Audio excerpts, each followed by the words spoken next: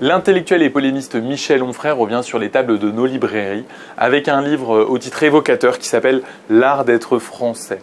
Après un premier chapitre où Michel Onfray euh, euh, dresse une euh, magnifique déclaration d'amour à la France, celle de Montaigne, celle de Rabelais, celle de Descartes et celle de Victor Hugo, Michel Onfray passe au crible l'ensemble des mots du monde contemporain.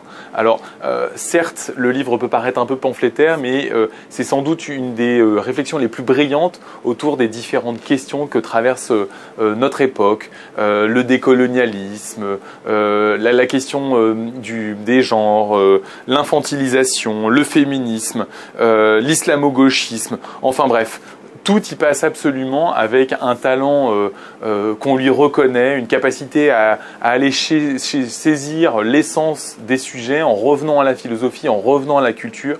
Alors encore une fois, tout ça est assez pamphlétaire, tout ça est assez décliniste, mais c'est extrêmement précis, cultivé et stimulant. L'art d'être français chez Bouquin.